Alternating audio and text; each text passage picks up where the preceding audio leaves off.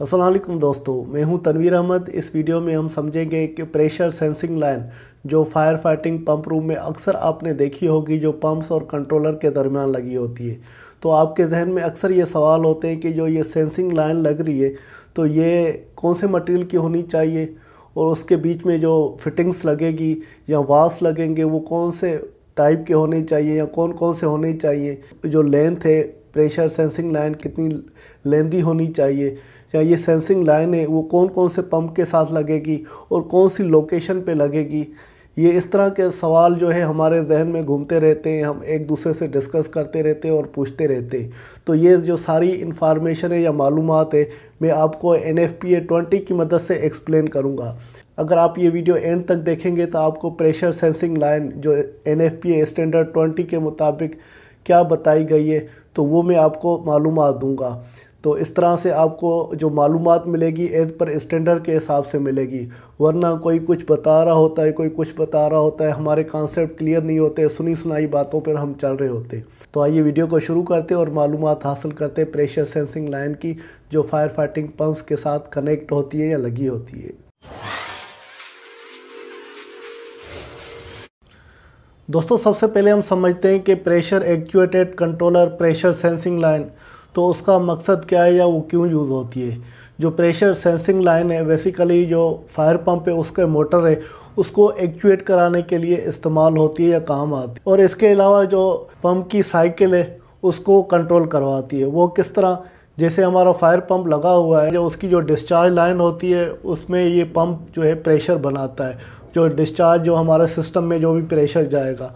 तो वो जो भी प्रेशर जा रहा है तो वो उसके सिग्नल जो हमारा कंट्रोलर होता है जो फायर का, जिसको हम वेरिएबल स्पीड लिमिटिंग कंट्रोलर बोलते हैं, जो वेरिएबल स्पीड का मतलब है जो भी पंप की हमारी स्पीड को वेरी करवाता है और एक नॉर्मल कंट्रोलर होते हैं। तो ये जो हमारे कंट्रोलर होते हैं बेसिकली तो पंप की मोटर को वो चला रहे होते हैं या पंप की मोटर को वो बंद करा रहे होते हैं। क्योंकि जो भी हम फायर पंप की सेटिंग रखते हैं फॉर एग्ज़ाम्पल हमारा जो कि पंप है तो वो ऑटो पे स्टार्ट भी होता है और बंद भी होता है। इसी तरह जो फायर पंप है फायर पंप में मेन इलेक्ट्रिकल पंप आ जाता है और दूसरा डीजल पंप आ जाता है। तो इन पंपों को भी ऑटो पे आपको चलाना है और फिर बंद भी करवाना है। तो वो आपको प्रेशर की सेटिंग डालनी होती है। जो फायर के पैनल है, उसमें एक डिस्प्ले आपने देखी होगी। उस डिस्प्ले पे रीडिंग आ रही होती है। बेसिकली वो हम पहले जो सेट पैरामीटर है, वो उसमें फ़ीड करते हैं डिस्प्ले के अंदर। जो प्रोग्रामिंग होती है, उसमें फ़ीड कर दिया हमने प्रेशर। सपोज़ करते हमारा जो पंप है, वो 8.5 बार पे वो चले और 9 बार पे वो बंद हो जाए। और दूसरा पंप पे हमारा नाइन बार पे चले और वो 9.5 बार पे वो बंद हो जाए। जो भी हमने सेटिंग करवाई है, उस हिसाब से जो हमारा कंट्रोलर है तो वो प्रेशर को सेंस करते हुए, जो कि पंप की मोटर है तो उसको चलाएगा या बंद करेगा। मेन इलेक्ट्रिक पंप की मोटर है, उसको चलाएगा या बंद करेगा। या डीजल इंजन हमारा पंप है, उसको चलाएगा। तो और डीजल इंजन को नॉर्मली जो मैन्युअली हम बंद करते हैं, बाकी चलती वो ऑटो पे। तो ये जो भी सेटिंग आपको करनी है तो उसको ऑटो पे चलाना या बंद करना, वो प्रेशर सेंसिंग लाइन की मदद से होता है। अच्छा पंप के जो डिस्चार्ज लाइन है, वहाँ पर हमारी प्रेशर सेंसिंग लाइन लगती है और वो जो सेंसिंग लाइन आती है, हमारी कंट्रोलर के पास, उसके साथ कनेक्ट होती है। तो ये जो सेंसिंग लाइन है, इसका यही मकसद है, जो पंप में से पानी डिस्चार्ज हो रहा है और पंप का डिस्चार्ज प्रेशर कितना है तो उसकी मदद से हमारे कंट्रोलर में जाए और कंट्रोलर जो है, फिर वो प्रेशर सेंसर वहाँ पर एक ट्रांसड्यूसर लगता है या प्रेशर सेंसिंग स्विच लगता है। तो वो जो लाइन होती है हमारी, वो वाटर की लाइन होती है और वो हमारी मुख्तलिफ़ मटेरियल की होती है जो मैं आगे आपको एक्सप्लेन करूँगा, जो एन एफ़ पी ट्वेंटी ने बताई है। तो वो लाइन जो सेंस करेगा तो वो पानी बेसिकली वो हमारे प्रेशर ट्रांसड्यूसर या मुख्तलिफ़ प्रेशर स्विच से वो सेंस होता है, वो सेंस करते हुए जो लिमिट को, जो कंट्रोलर में जो प्रेशर सेटिंग हमने दी हुई है, उसको सेंस करते हुए फायर पंप को ऑन करवाता है या ऑफ़ करवाता है। इसका मतलब है वो ऑटोमेटिक इसको कंट्रोल करता है जैसे चलने के लिए। तो बेसिकली इसका प्रेशर सेंसिंग लाइन का ये मकसद है। और दोस्तों, दूसरा N F P A twenty ने यह बताया, जो भी हमारे पंप पे फायर फाइटिंग पर्पज़ के लिए यूज़ हो रहे हैं उस सारे पंपों के साथ प्रेशर सेंसिंग लाइन लगानी है। जैसे हमारा जोकी पंप है तो उसके भी डिस्चार्ज में सेंसिंग लाइन लगेगी और उसका अलग से कंट्रोलर होगा, क्योंकि पंप की जो डिस्चार्ज लाइन है, सिर्फ़ उसी को, उसी का प्रेशर सेंस करेगा और फिर उसी के कंट्रोलर में देगा। और दूसरा इलेक्ट्रिकल पंप है, उसकी सेंसिंग डिस्चार्ज लाइन होगी, फिर वो इलेक्ट्रिकल कंट्रोल पैनल के साथ कनेक्ट होगी। और डीजल पंप है तो उसकी अलग से एक सेंसिंग लाइन होगी और उसके पैनल है उसके साथ ये कनेक्ट होगी। तो कहने का मकसद ये है तो हर पंप की जुदा एक प्रेशर सेंसिंग लाइन होगी, जो हर पंप का मुख्तलिफ़ या जुदा कंट्रोलर होता है, उसके साथ कनेक्ट होती है। ये नहीं है तो आपने जैसे तीन कंट्रोलर हैं और तीन सेंसिंग लाइन जाएगी तो आपने एक लाइन तीनों को आपस में मिलाकर फिर किसी भी कंट्रोलर के साथ लगा दी, या आपने हेडर के साथ कनेक्शन कर दी और हर किसी के कंट्रोलर में क्यों आप बोल रहे थे हेडर से जो पानी जाएगा तो वो सबसे ही निकल रहा है। इस तरह नहीं होगा। जो पंप का एक्चुअल डिस्चार्ज प्रेशर होगा, वो उसके लिए ही सिर्फ़ हमारा जो सेंसिंग लाइन है और उसके कंट्रोलर में कनेक्ट होगी।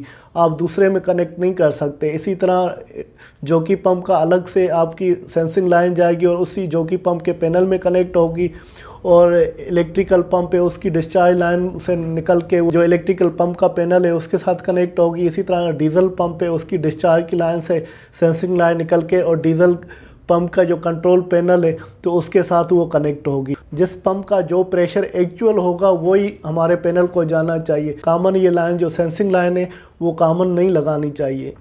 और दूसरा आपको ये जो सेंसिंग लाइन है, वो कहाँ पंप के लोकेशन पे कनेक्ट करनी है। जो भी पंप है हमारा तो उसकी जो डिस्चार्ज लाइन है, उसमें आपने देखा होगा तो वो चेक वाल भी लगा होता है और आइसोलेशन वाल या ओ एस वाई वाल या गेट वाल जिसे बोलते हैं तो वो ओ एस वाल और हमारा जो चेक वाल लगा होता है डिस्चार्ज में। तो वो जो चेक वाल और ओ एस वाई वाल उन दोनों के बीच में आपको वो सेंसिंग लाइन कनेक्ट करनी है, लगानी है। तो चेक वाल और आइसोलेशन वाल इन दोनों के बीच में आपको लगानी है। तो ये जो आप प्रैक्टिस करेंगे, वो जोकी पंप के लिए भी करेंगे मेन इलेक्ट्रिक पंप के लिए और डीजल पंप सब के लिए यही करेंगे। ये नहीं तो आपने डिस्चार्ज में सबकी सेंसिंग लाइन कनेक्ट करके और आपने कंट्रोलर के साथ कनेक्ट कर दिया। इस तरह नहीं करना। हर पंप की जो डिस्चार्ज लाइन होगी, उसमें जो चेक वाल लगा होगा और आइसोलेशन वाल होगा, उन दोनों के बीच में आपको एक पॉइंट बनानी है और सेंसिंग लाइन वहाँ पे कनेक्ट करनी है। फिर वो सेंसिंग लाइन जो पंप का जो पैनल होगा, जो जिस पंप का पैनल होगा, उसके साथ कनेक्ट करेंगे। वहाँ पर ट्रांसड्यूसर होगा, वो उसी पंप के प्रेशर सेंस करेगा। और दोस्तों, आपने जैसे multi stage multi port fire pump देखें, जो हमारी काफ़ी हाई राइज बिल्डिंगें होती हैं तो हम उसमें क्या करते हैं तो मुख्तलिफ़ एक लेवल बना लेते हैं। फॉर एग्ज़ाम्पल एक लो लेवल बना लेते हैं, एक मीडियम बना लेते हैं, एक हाई लेवल बना लेते हैं। तो उसके लिए हम क्या करते हैं, यहाँ तीन पंप के सेट बनाते हैं, या तीन टैंकें होती है। एक नीचे हमने पंप और टैंक लगा ली, दूसरी पंप और टैंक ऊपर लगा ली, तीसरी और ऊपर लगा ली। या फिर हम क्या करते हैं, नीचे ही एक multi stage multi port fire pump दे देते हैं। सपोज़ करते हैं उसमें से तीन स्टैंड पाइप हम निकाल रहे हैं। जो एक स्टैंड पाइप होगा, वो लोअर लेवल के लिए और दूसरा जो स्टैंड पाइप होगा, वो मीडियम लेवल के लिए और तीसरा जो स्टैंड पाइप होगा, वो हाई लेवल के लिए वाटर सप्लाई करेगा फायर फाइटिंग पर्पज़ के लिए। तो उस सूरत में हमें जो प्रेशर सेंसिंग लाइन लगानी है तो हर पोर्ट में से जो डिस्चार्ज लाइन जो स्टैंड पाइप के लिए निकल रही है, उसमें कनेक्ट करेंगे। और दूसरे में भी कनेक्ट करेंगे, तीसरे में भी करेंगे। तीनों की एक ही नहीं करेंगे, क्योंकि इन, इसका पंप आपका जो है, एक होगा। मगर फायर पंप का कंट्रोलर होगा, उसमें ऐसी सेटिंग होती है तो जो भी पोर्ट होता है, उसकी अलग से प्रेशर सेंसिंग लाइन होती है। अगर लो लेवल के लिए तो उसका प्रेशर आपको कम देना है मीडियम लेवल है तो उसको प्रेशर ज़्यादा देना है और हाई लेवल है तो उसका प्रेशर ज़्यादा होगा। तो जो हमारा फायर का कंट्रोलर लगा होता है, वो प्रेशर सेंस करते हुए तो उसकी जो कंट्रोलिंग होती है, वो कंट्रोलर की मदद से होती है। तो उसमें जो कंट्रोलर है, उसमें भी तीन जो है आपके प्रेशर ट्रांसड्यूसर दिए होंगे। अगर थ्री मल्टी स्टोरेज और मल्टी पोर्ट के पंप पे। अगर four multi storage multi port के पंप पे तो उसमें कंट्रोलर में ट्रांसड्यूसर फोर दिए होंगे। उस हिसाब से आपको जो डिस्चार्ज का स्टैंड पाइप है या पोर्ट है, वहाँ पर सेपरेट हर किसी को प्रेशर सेंसिंग लाइन देनी है। अब समझते हैं कि जो प्रेशर सेंसिंग लाइन है तो उसमें पाइप जो हमें लगाना है तो वो कौन से मटेरियल का होना चाहिए? जो एन एफ़ पी ट्वेंटी में बताया कि जो आपको पाइप, जो प्रेशर सेंसिंग लाइन के लिए लगाना है, वो कापर का पाइप लगाना है। मगर कापर में आपको ये चीज़ नोट करनी है तो सॉफ्ट कापर आपको नहीं यूज़ करना। सॉफ्ट कापर से मतलब ये, जैसे आपने एयर कंडीशनिंग में कोयल देखे होंगे तो आप उसको खोलेंगे तो वो सीधा कापर का ट्यूब हो जाता है, उसको बेंड करेंगे तो वो आराम से बेंड हो जाता है। तो वो कापर आपको सॉफ्ट कापर यूज़ नहीं करना। जो हमारे स्ट्रेट कापर के ट्यूब्स होते हैं, जो फोल्ड नहीं होते, जैसे सॉफ्ट नहीं होते हार्ड होते, उसमें के टाइप भी आ जाता है एल टाइप भी आ जाता है और एम टाइप भी आ जाते हैं। इस किस्म के जो हार्ड पाइप होते हैं, आप वो यूज़ करेंगे कापर के, मगर सॉफ्ट कापर यूज़ नहीं करेंगे। एक तो आपको कापर के पाइप यूज़ करने, और कापर के अलावा जो आपको पाइप यूज़ करने सीरीज़ 300 स्टेनलेस स्टील के पाइप होते हैं तो या ट्यूब होते हैं तो वो आपको यूज़ करने। या कापर के यूज़ कर सकते हैं, या एसएस के जो ट्यूब्स होते हैं या पाइप होते हैं, सीरीज़ 300 के वो यूज़ कर सकते हैं। तो इसके यूज़ करने का ये मकसद है, क्योंकि हम लोग ने अक्सर प्रोजेक्टों में देखा है तो वो एमएस के पाइप लगा लेते हैं या दूसरे जीआई के लगा लेते हैं।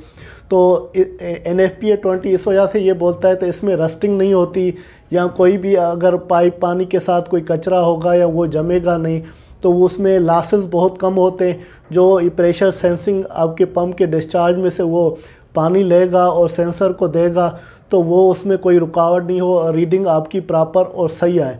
इस वजह से ये हम कापर के पाइप यूज़ करते हैं या स्टेनलेस स्टील के पाइप यूज़ करते हैं।